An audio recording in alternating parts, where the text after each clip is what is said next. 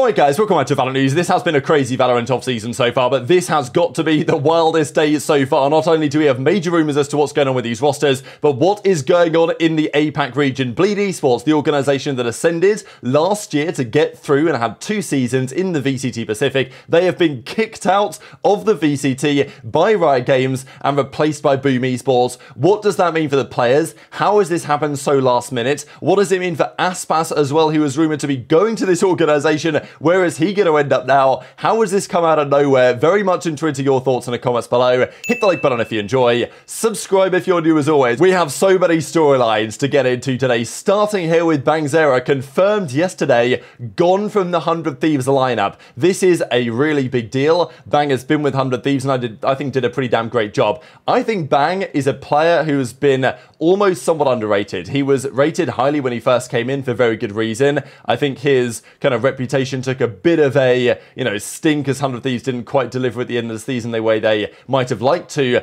But I think Bang's a really good player. And I think that Sentinels who are going to get him have actually scouted, not really scouted, I mean, he's a known quantity on some level, but I think they've chosen a very good option here. So 100T confirm, Bang is gone. Obviously, Stella is like, hey, I mean, what's going on here? We only got a couple of gifts when we left. And um, here's Stella with, or here's uh, Bang with a five minute montage of his departure. But um, as he went on to say, hardest decision of my career. I know this makes some people happy and some people sad. I wish I helped 100T to win more, but in the end, I'm proud of what we accomplished. So we're pretty sure he's going to go to Sentinels. And I thought this is pretty funny here from Rob Moore because, uh, well, he's just clouded on randoms on the timeline, basically. So the, the deal is that Narrate and Bang are coming in. And look, when this gets confirmed, because we've got all the bleed stuff to discuss, but as and when this gets confirmed, you know, we're going to have to talk about how much firepower there actually is there on Sentinels now because, like, they had firepower before. They absolutely have firepower now, as far as I'm concerned, bringing these two guys into their roster. Some won't agree, though. Mid and mid joining mid. Report on a real team like G2, please. And uh, Rob Moore is like, how many trophies did G2 win this year? Or even when, you know, who went farther at champs? L take. Show me your cologne of victory. He's like, look, this is Valorant, little bro. What are you talking about? So, um, yeah, just the fact that Rob Moore is in the replies to this tweet, I thought were pretty funny because it is obviously leaking what might be going on in his own organization.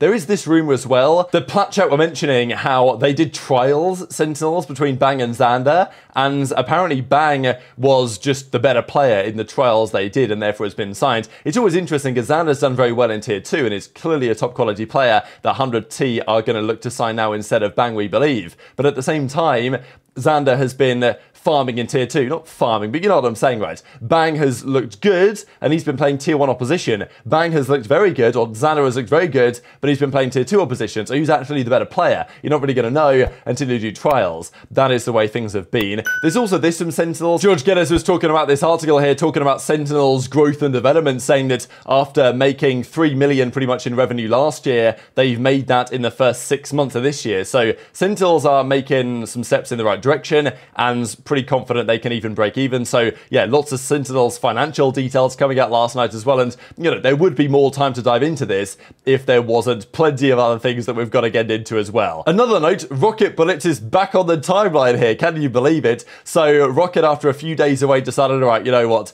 I can't go cold turkey on Twitter. I'm going to come back, going to drop some more spreadsheets. So, uh, you know, an absolute classic. And I just noticed he's changed his name here to DRG Aspas because, uh, well, Dragon Ranger Gaming are going to be looking for someone to join their team. And, uh, well, there's no Aspas linked as it stands. But, well, we're going to get into the Aspas stuff because it is absolutely fascinating. And according to his latest spreadsheet anyway, the rumour has been that Aspas is still not going back to Lev. He may do now after all this, but Demon 1 to Lev is like a done deal. So Aspas returning to Lev wouldn't make that much sense. And most of the teams in the Americas, we think they know what they're doing, apart from maybe NRG, who still haven't confirmed things yet. It is interesting here that he has mada as well joining NRG because we thought mada to live was a thing, but then Alejandro mentioned that it was actually going to be to NRG. So, um, but then mada was clowning that and saying that ain't true. So I don't know what's true, but um, what I do know is true is that Bleed Esports have been kicked out of the franchise league. So let's get into that. Tanmay reports on this a few hours before it was actually made official that there were rumors that Bleed Esports VCT slot is being re-evaluated. And we've talked about this now for a good couple of years. Basically, since the VCT VCT first came round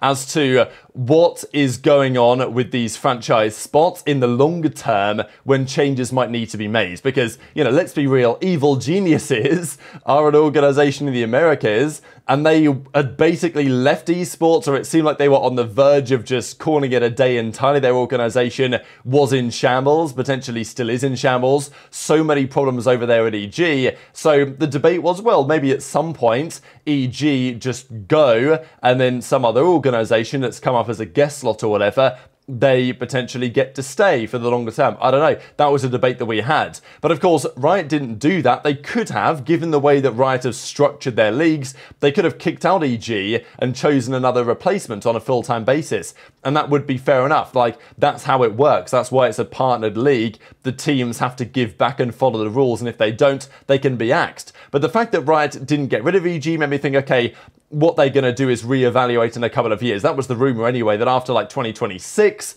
then Riot are going to reevaluate all their partner teams and decide, okay, do we want to keep you as a partner? Do we not? Do we want to choose another partner instead? But that seemed to be down the line. So Bleed Esports must have done something pretty egregious to get kicked out of the league. And that is what has happened today. So Riot come out with this statement today, an update for VCT 2025. Riot Games removes Bleed Esports from the VCT Pacific and promotes Boom Esports. The organisation, of course, that lost in that epic grand finals the other day to Sinprasa Gaming, and, you know, maybe a blessing in disguise in some sense because they lose and now they get this opportunity as a new partner. I also will say it's cool. I know it's a different situation to the Guard G2 situation that we had last year, but it's nice that Riot's first thought was like, okay, let's actually promote another team because you know, what they were doing before is they were like, oh, well, the guards are going to quit, so unlucky guys, I guess there's no Ascension team this year. Whereas here they're saying, all right, we're going to kick one org and we are going to promote another org. We're not just going to drop it down to 11 teams again or whatever. So um, I'm glad that this was their initial decision in the first place. But have a listen to this.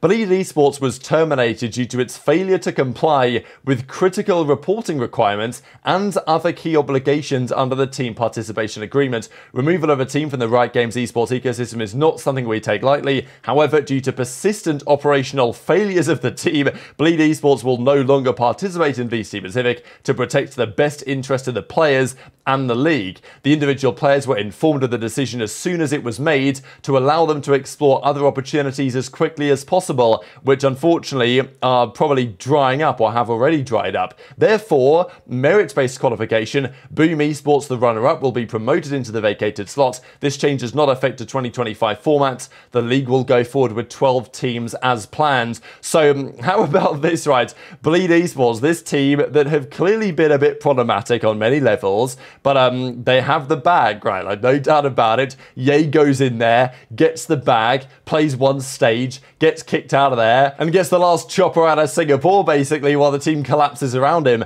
And, you know, basically, Bleed say, deeply disappointed in the outcome, but clearly, like, they've messed up somewhere, right? You'd think. And they say they've been in constant communication with Riot to deliver the deliverables required in that team participation agreement, but we were unable to rectify these issues in a satisfactory manner, so we're out of there. So what's going on? Well, there have been some rumours as to the situation as Pure says, according to a former Bleed employee, there were instances where players were delayed payment for a couple of months. So this is the point, right? If you're a franchise team, you've got to pay your players on time, right? It's pretty gold standard, you know, pretty standard stuff. And if you're not doing that, then, um, well, Riot are not going to be so happy with you because they're going to say, well, why don't we just have an organization instead who are going to pay their players on time? There was also some drama as well, apparently, where they had a warning by Riot because they tried to participate in some third party CS tournament without approval, which is required. So they just did a few things, it seems, the Riot weren't happy with. They couldn't resolve them. So they've been kicked out of the league. But happening now is kind of crazy, and especially when Riot say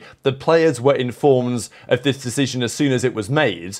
Well, Lagia and the guys on the team are saying they heard about it 30 minutes ago, as in they heard about it right when the announcement was happening. So um, it seems like, at least assuming this is true, that the players informed of this decision as soon as it was made, you know, apparently the decision was made 30 minutes before this tweet went out, which seems kind of doubtful because there were rumours now for a couple of days. I think maybe some other leakers were saying that for a couple of days now they'd heard about this, especially when this guy who does social officials for various organisations, I think formerly Bleed as well, said that he'd heard about this last week. So, uh, you know, the rumor is that the decision was made like a week ago, like certainly several days ago. This was at least in conversation. Maybe the decision wasn't finalized, but um, he says he got the confirmation that this was happening last night, and now it's been announced. So how come this guy knew about this a week ago and then knew that it was confirmed a day ago, but yet the players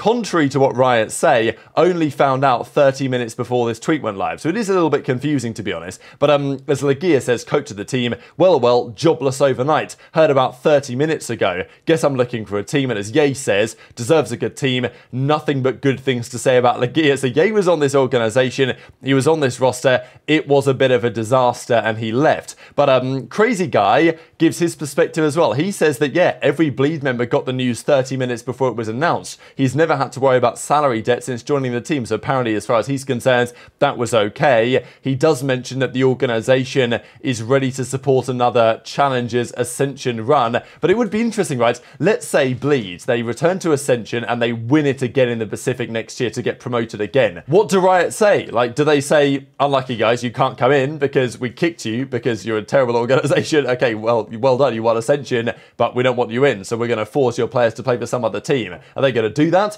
Or are Bleed able to say, right, yeah, we fixed it, guys, don't worry, you know, we're going to come back in now, we've fixed up the processes. I don't know, but it's confusing, isn't it? And, um, well, this is Crazy Guy's perspective on it. But there's two other key pieces to mention here as well. The first one being, where's Aspas going? Because Purest says, and we'd heard this rumour now in various ways for some time, that Aspas to Bleeds was near enough a done deal. Like, Aspas had decided he wanted to leave the Leviathan roster because he didn't like the management, basically. He wanted to leave the Americas, go and play in the Pacific, and Bleed Esports were the organisation offering the biggest bag with the biggest potential upside. So that was gonna be a deal. Like Aspas to Bleed was like nearly done, it seems, instead of Yay, basically from the previous year. But now that ain't happening. Bleed aren't there anymore. And the Boom Esports team that just came second in Ascension, they're coming up. So where does Aspas go? Does he go to Dragon Ranger Gaming, as we talked about? Does he go to DRX? Does he go to Paper Rex? Does he go to Zeta Division? Does he go to some other team in that region? Or does he return to the Americas in some way, come back to Lev, go to NRG? I don't know. Where does it leave Aspas? Like,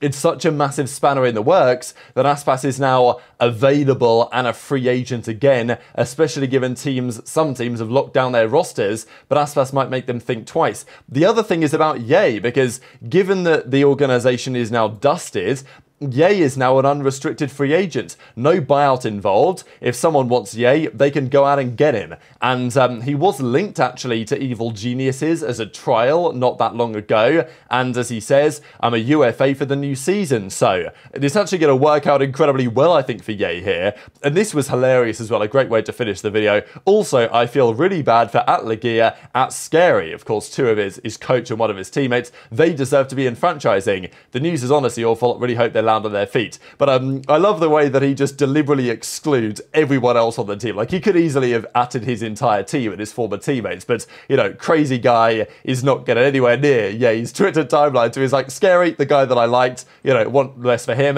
Lagia, coach, want the best for him. Anyone else, screw them. Basically, seems to be Yay's perspective, and I don't really blame him the way that the rumors were on that team last season. I guess one other quick thing: DSG disguised. They were effectively the Bleed Academy last year and now that's chalked as well. So, you know, it's all come crumbling down. Very much interested your thoughts in the comments. Hit the like button if you enjoyed. Subscribe if you're new. Take care, and I'll see you next time.